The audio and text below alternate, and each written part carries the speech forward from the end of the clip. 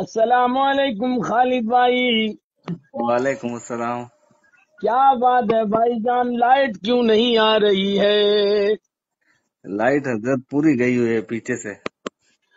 गाँव के लोग बाग परेशान हैं। आप लाइट मैन हो इसलिए हम आपसे पूछते हैं कि लाइट कब तक आएगी? लाइट हज़रत आपकी दुआ से इंशाल्लाह दस मिनट में चालू हो जाएगी। भाई जान अगर दस मिनट में नहीं आई तो फिर याद रखो हमें नागौर में जाकर सोना पड़ेगा। नहीं नहीं हज़रत आपको नागौर सोने की इंशाल्लाह ज़रूर हमारे गाँव में इतने मच्छर हैं बगैर पंखे के भागते नहीं हैं।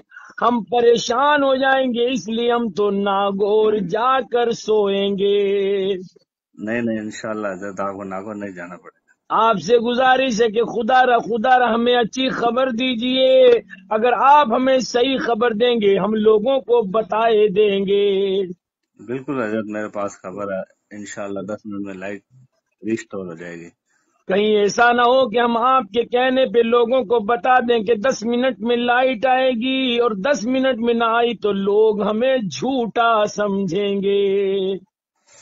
नहीं नहीं इंशाल्लाह दस मिनट में चालू हो जाएगी। भाईजान अगर आपको आपको पूरा मालूम नहीं हो तो आगे एक बार आप पता कर लीजिए।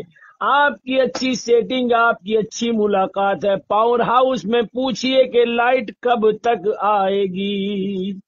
हज़रत मैंने अभी बात की है इनशाला दस मिनट में नहीं तो ज़्यादा से ज़्यादा आप बीस मिनट कर लो।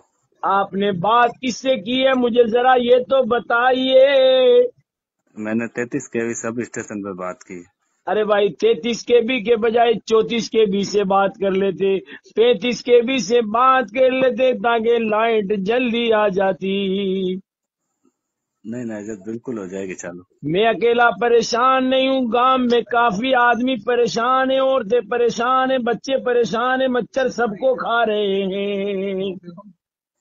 नहीं नहीं हज़रत इंशाल्लाह चालू हो जाएगी। भाईजान लाइट का प्रोग्राम जल्दी बनाइए आपको पूरे गाँव की दुआ लगेगी। इंशाल्लाह जल्दी जल्दी चालू ठीक है भाई जान हम इंतज़ार करते हैं अगर 10 मिनट या 20 मिनट में लाइट नहीं आई तो हम आपको फिर फ़ोन लगाएँगे। ज़रूर हज़रत ज़रूर।